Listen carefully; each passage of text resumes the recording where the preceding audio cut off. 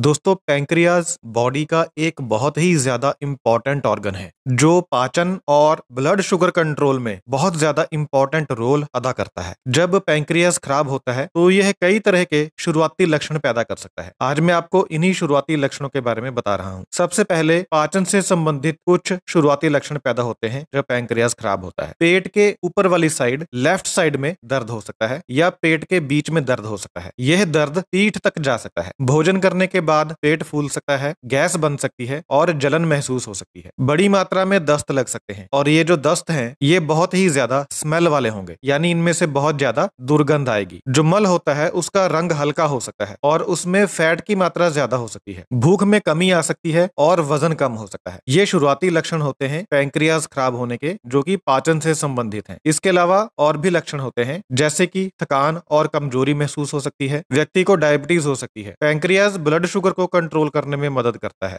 जब पैंक्रियास खराब होता है तो फिर इससे डायबिटीज़ हो सकती है। स्किन का रंग पीला हो सकता है और स्किन खुजलीदार हो सकती है और पीठ में दर्द हो सकता है। लेकिन ये ध्यान रखना बड़ा इंपॉर्टेंट है कि ये जो सिम्टम्स हैं, ये किसी और हेल्थ कंडीशन के भी हो सकते हैं। तो मैं आपको इनके साथ कुछ और लक्षण बता रहा हूँ, जो पैंक्रियाज खराब होने की शुरुआती स्टेज पर दिख सकते हैं। जैसे कि बुखार होना, ठंड लगना, मतली और उल्टी होना, पेट में सूजन होना, वज़न कम होना, मांसपेशियों में दर्द होना जोड़ों में दर्द होना, चिड़चिड़ापन होना और डिप्रेशन होना। यदि आपको इनमें से साथ में कोई लक्षण दिखाई देते हैं तो फिर डॉक्टर से सलाह मशवरा करना बहुत ज़्यादा इंपॉर्टेंट हो जाता है। पैंक्रियाज की जितनी भी समस्याएँ होती हैं, उन समस्याओं का इलाज आप दवाएँ खाकर या कोई सर्जरी करवाकर या फिर सिर्फ़ जीवन शैली में बदलाव लाकर कर सकते हैं। ये डिपेंड करता है कि पैंक्रियाज में क्या समस्या हुई है। यदि आप चाहते हैं कि आपको पैंक्रियाज की कोई समस्या ना हो, आपका पैंक्रियाज खराब ना हो तो आप अपनी जीवन शैली में कुछ बदलाव कर सकते हैं। अगर आप यह बदलाव करते हैं तो फिर पैंक्रियाज खराब होने का जो जोखिम है वो कम हो सकता है। जैसे कि आपको हेल्दी खाना खाना चाहिए, फल ज़्यादा खाने चाहिए, सब्ज़ियाँ ज़्यादा खानी चाहिए, साबुत अनाज ज़्यादा खाना चाहिए। आपको हफ़्ते में कम से कम 150 मिनट एक्सरसाइज ज़रूर करनी चाहिए, और आपका जो वज़न है, वो लिमिट में होना चाहिए, कंट्रोल में होना चाहिए, और आपको धूम्रपान नहीं करना चाहिए। जो धूम्रपान होता है, यह पैंक्रियाज की समस्याओं के जोखिम को बढ़ाता है, और शराब का सेवन आपको सीमित करना चाहिए। ज़्यादा शराब का सेवन पैंक्रियाज की समस्याओं के जोखिम को बढ़ाता है। तो यदि आपको इनमें से कोई भी लक्षण नज़र आते हैं तो आप एक बार डॉक्टर से परामर्श कर सकते हैं। Thank you so much